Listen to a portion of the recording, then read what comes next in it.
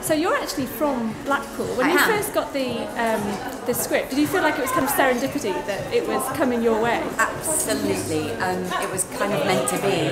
I didn't think I'd be right for the, for the film in the first place. I wasn't sure where uh, the director wanted my character to come from, and, and when he said you can be whatever you, you want, you know, because I, I'm Persian, um, and he and I told him I said I'm Persian, but I'm from Blackpool, and he went, we're going to film all of this in Blackpool, and I was like, what? You know, perfect, isn't it? Yeah, just absolutely perfect, perfect. So it was your first film role. Do you want to do more films? I mean, what was the difference for you from being in um, sort of a regular TV show to something like that?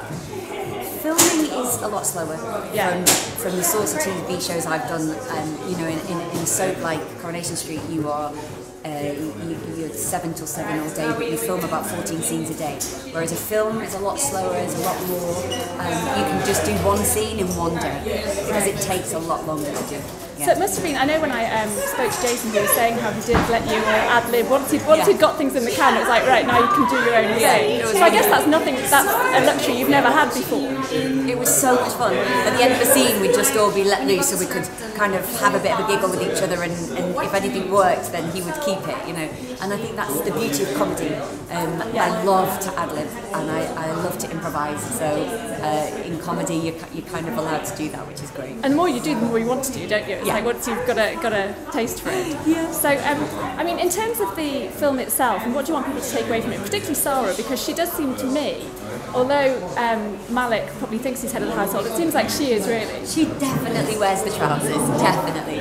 Um, she's a strong woman, um, and I, I love that she's a strong woman. I took a lot of my mum and put her into Sara. Right. Because my mum is just my everything, and she is so strong and powerful, and I love that.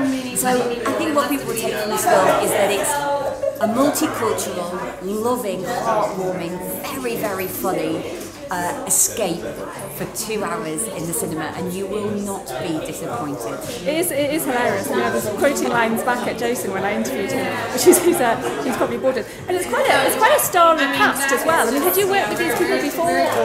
Um, I, I knew of Johnny, and Right. uh, and me and Nitin knew each other through uh, the soaps. Yes. Um, but no, we, we've just become this one big family. Right. And it, it's really lovely. And you put us all together, we, we look like a family as Yes, well. yeah, yeah, yeah. And you, I bet you act like a family as well when, you, when you're It's together. really lovely. yeah. yeah. Well, thank you very much.